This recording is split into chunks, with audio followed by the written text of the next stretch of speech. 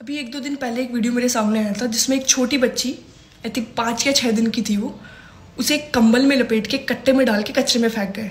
बहुत नॉर्मल बात है ना, यहाँ लोग हम जैसे को नहीं छोड़ते, हमें इतनी गंदी गंदी गालियाँ देते तो वो तो छोटी बच्ची है जो कुछ बोल नहीं पाती। और अगर वो बोलती तो शायद ये कहती कि ऐसा क्या गुनाह किया मैंने जिसकी सज़ा तुम मुझे दे रहे हो?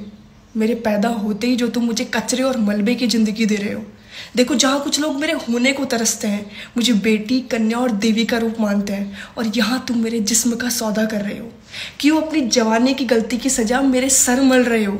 अगर नहीं चाहिए बेटी तो क्यों पैदा कर रहे हो? कुछ लोग मुझे नोच नोच कर मारते हैं तो कुछ मुझे सौ टुकड़ों में काटते हैं। कुछ मुझे आग में जलाते हैं तो कुछ मुझे मिट्टी में गाड़ते हैं। देखो, फिर भी उन दरिंदों को तुम खुला छोड़ते हो। और इतने बड़े गुनाह करने वाले को तुम नाबालिग बोलते हो। बस इतना बता दो मुझे कि ऐसा क्या गुनाह किया मैंने, जिस गलती की सज़ा तुम मुझे दे रहे हो।